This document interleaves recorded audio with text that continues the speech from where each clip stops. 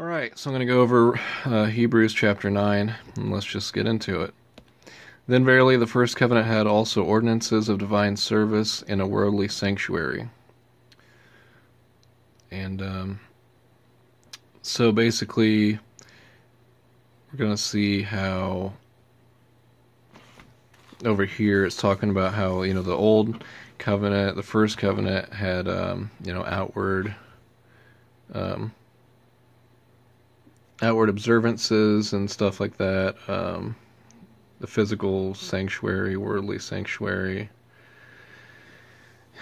And um, he's comparing the old to the new, which is the spiritual. And for there was a tabernacle made, the first wherein was the candlestick and the table and the shewbread, which is called the sanctuary.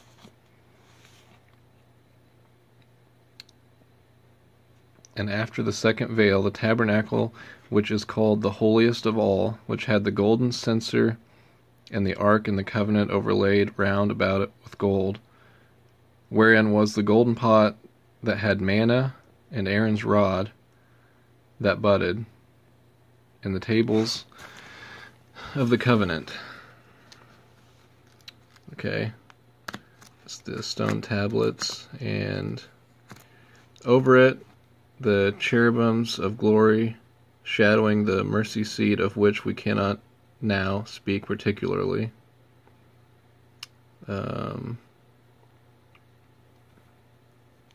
hmm, so I wonder what that means. Can't say in detail. Uh, now, when these things were thus ordained, the priests went always into the first tabernacle, accomplishing the service of God.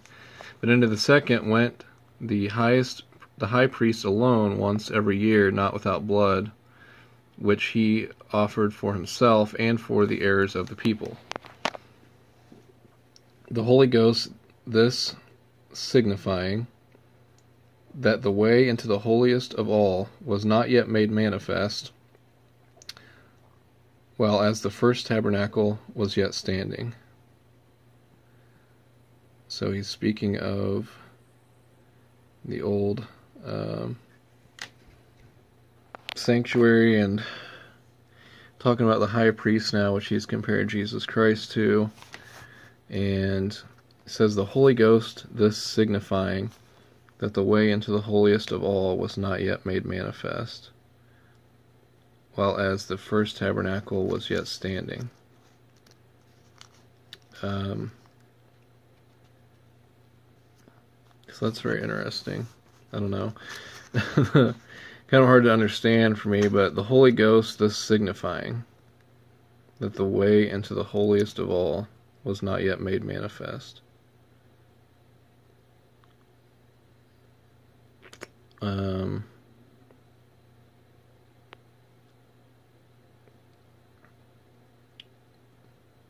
which was a figure for the time then present, in which were offered both gifts and sacrifices that could not make him that did the service perfect as pertaining to the conscience.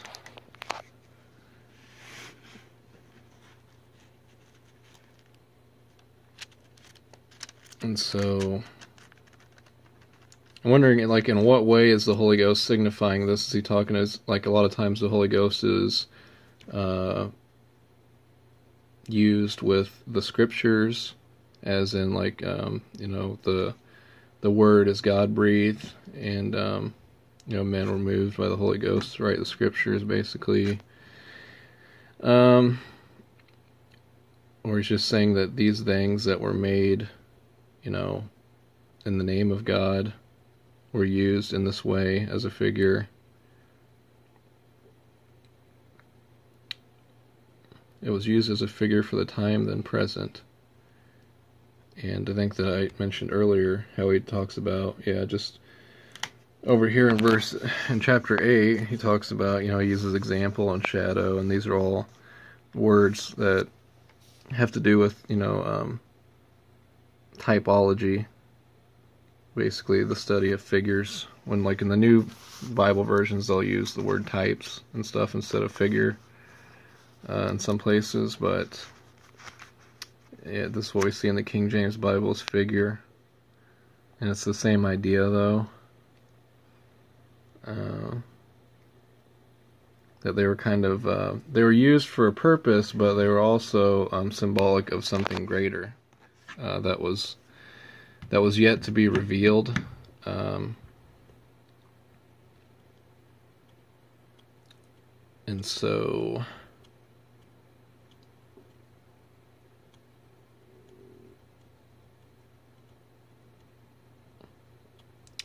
even the uh, the gifts and the sacrifices that the high priest you know offered could not make him perfect as pertaining to the conscience. That's interesting too. What does that mean? Obviously, we know that you know no human is sinless if we're gonna go with that route, except for you know Jesus Christ is sinless. He's fully God, fully man, and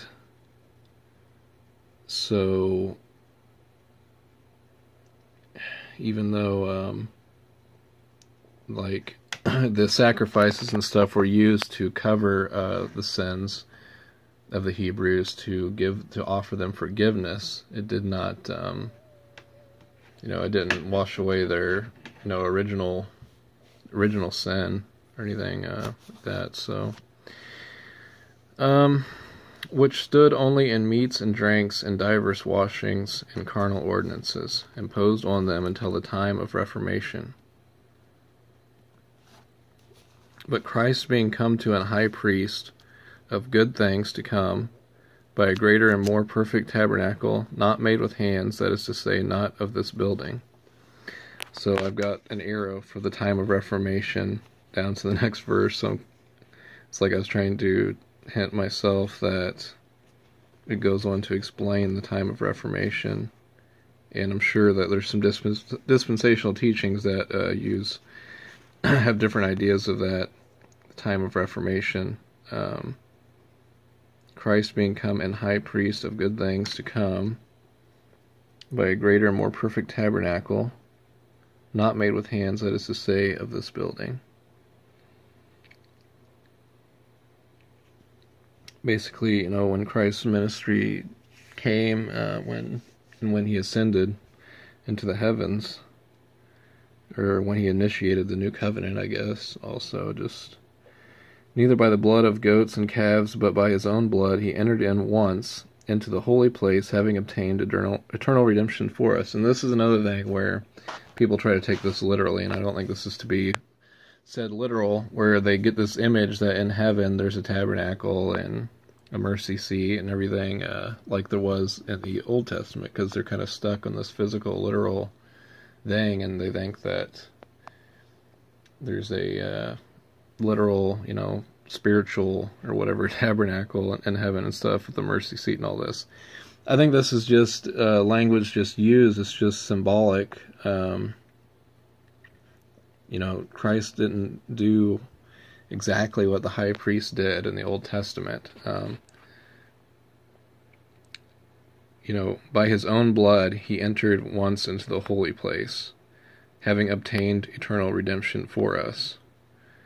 And, I mean, basically, you know, Christ died on the cross, and um, and it's in that sense that His blood uh, cleanses us, and you know that's where you know redemption happened at the cross. And so, because there are people that teach, like I said, uh, in heaven there's an actual mercy seat and stuff, and they'll say, well, it wasn't accomplished at the cross; it was accomplished after after the cross, and then he ascended into heaven, and then he went to the mercy seat. No, it was accomplished at the cross,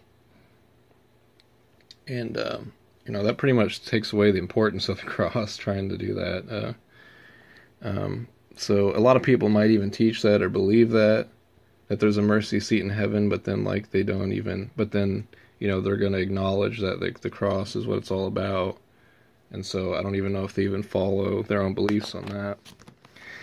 For if the blood of bulls and of goats and the ashes of an heifer sprinkling the unclean sanctifieth to the purifying of the flesh, sprinkling the unclean sanctifieth to the purifying of the flesh how much more shall the blood of Christ, who through the eternal Spirit offered himself without spot to God, purge your conscience from dead works to serve the living God? and so, um, you know, basically he's, he's he's he's said this before in previous chapters and stuff too about how much greater Christ is because Christ is eternal. He is God, you know, his blood is pure. It's nothing like any of the temporary sacrifices and stuff. Um, it's far beyond that. So he says, How much more shall the blood of Christ, who through eternal the eternal Spirit offered himself without spot to God? He mentions how he's eternal again. And um, so that's contrasted with temporary, you know. Um, so uh, his uh, redeeming power is eternal, you know, redeeming power, and it's also interesting. I think that he says, you know, he offered himself without spot. Also, it speaks of his sinlessness, but he says uh, he offered himself to God. And another interesting thing there is that when it says he offered him to God, they're going to say, well, see, that means that Jesus isn't God. But no, that's not what it means. It's speaking of God the Father. Jesus Christ offered, uh, you know, in his humanity, he offered him himself uh, to the Father. Okay? And purge your conscience from dead works to serve the living God. And it's interesting how basically it talks about serving God basically from being lost to being saved, and it's equating being saved with serving God. And then so that's where I would come in with the uh, lordship salvation doctrine, because there's people who say that well, you know, Christians. Uh, basically, you can be saved, you can be born again, and not be a servant of Christ. That doesn't make any sense at all. That's not what the Bible teaches. It talks about serving God and of course, no Christian, you know, serves God perfectly. We're not sinless. But there's a change where, you know, you do become a servant of God, and it's not just by name, it's a change of heart. And uh, so that's something that, you know, a person has to knowingly, willingly submit to to come to Christ. So, and for this cause, he is the mediator of the New Testament. Talks about Christ as mediator between God and man. He uh, brought in the New Testament, and um, that's basically what I think. I always I, keep saying in Daniel nine twenty seven, whatever that verse is. It talks about uh, he shall confirm the covenant with many. He is the mediator of the New Testament, and so Jesus confirmed the covenant or the testament. Those are interchangeable terms there that by means of death, for the redemption of the transgressions that were under the first testament, uh, redemption of the transgressions that were under the first testament, that they which are called might receive the promise of eternal inheritance.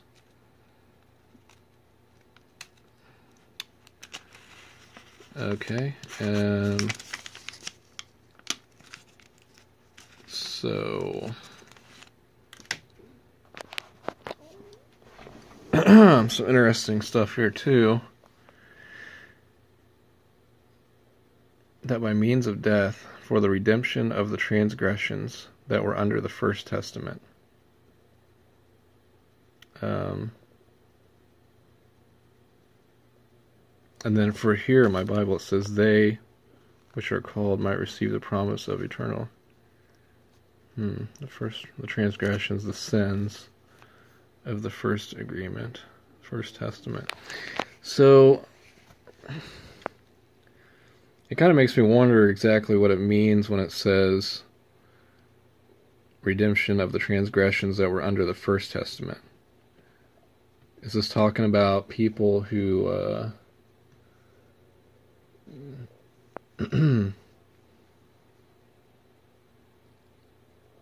I don't know.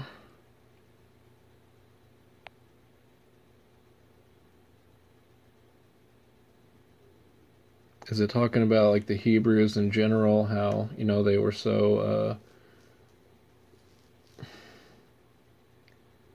you know they were backsliders and everything um, in the Old Testament, and that he's kind of bringing them back.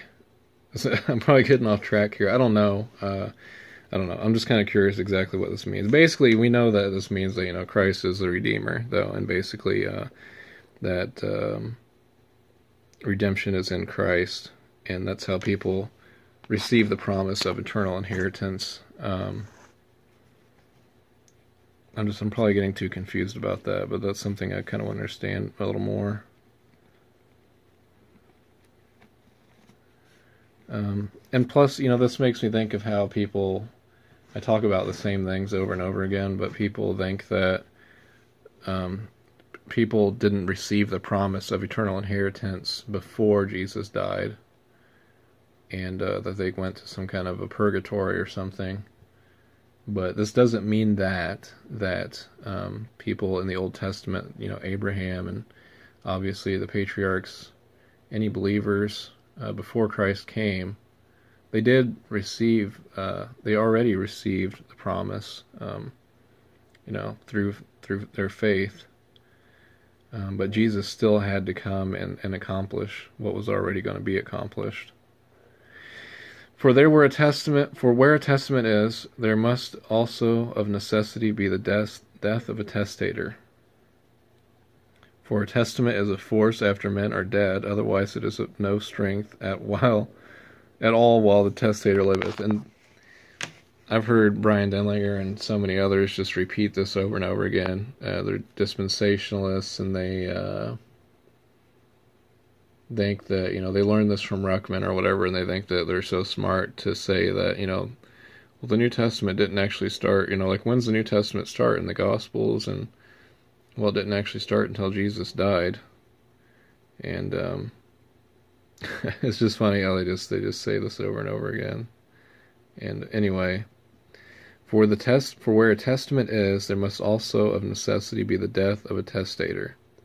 For a testament is a force after men are dead, otherwise it is of no strength at all while the testator liveth. And uh, besides me hearing this used over and over again, I really don't uh, want to comment too much on that but uh, that's something I want to look into more too. Whereupon neither the First Testament uh, was dedicated without blood. Uh, for when Moses had spoken every precept to all the people according to the law, he took the blood of the calves and goats with water and scarlet wool and hyssop and sprinkled both the book and all the people, saying, This is the blood of the testament which God hath enjoined unto you. Moreover, he sprinkled with blood both the tabernacle and all the vessels of the ministry, and almost all things are by the law purged with blood, and without shedding of blood is no remission.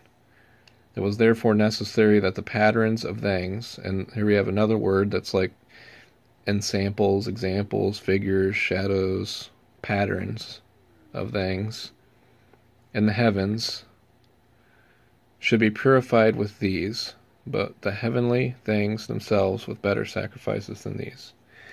It was necessary that the patterns of things in the heavens should be purified with these, but the heavenly things themselves with better sacrifices. That's another verse that I would like to look at in the commentaries. It's just a bit of a brain twister. Um, hmm should be purified with these.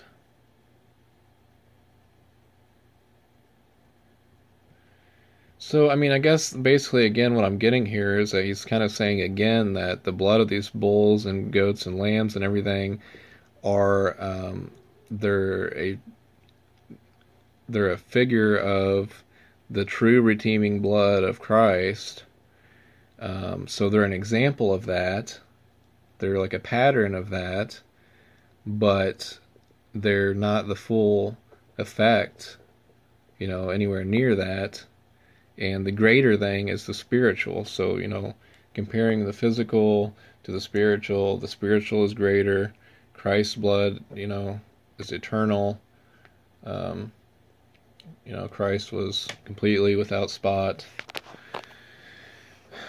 For Christ is not entered into the holy places made with hands which are the figures of the true,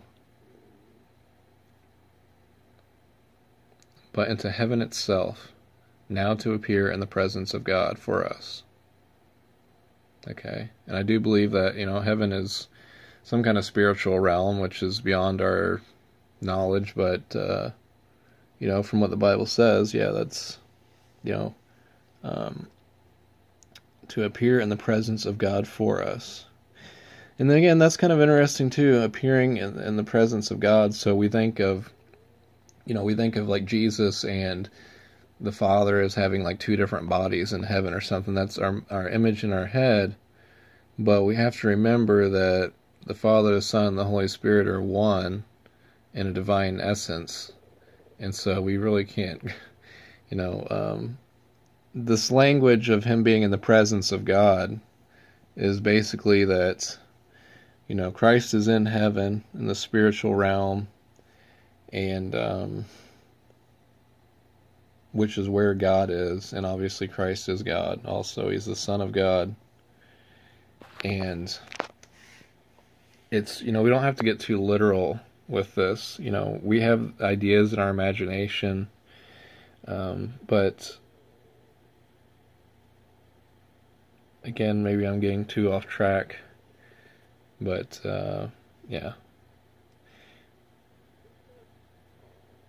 So it's like Christ didn't, you know, cease to exist or anything. Christ still is very much alive. He very much exists, but it's in the spiritual realm. And um, he's comparing this to like the tabernacle and stuff. So nor yet that he should offer himself often, but as the high priest entereth into the holy place every year with blood of others, nor yet that he should offer himself often. Okay, he, um, for then must he often have suffered since the foundation of the world. But now, since in the end of the world hath he appeared, and put away sin by the sacrifice of himself. And it's interesting that it says the end of the world. But now once in the end of the world hath he appeared, to put away sin by the sacrifice of himself. His offering was made once, and as an appointed unto men once to die, but after this the judgment. And I use that verse a lot. That's a great verse for a lot of reasons, but um,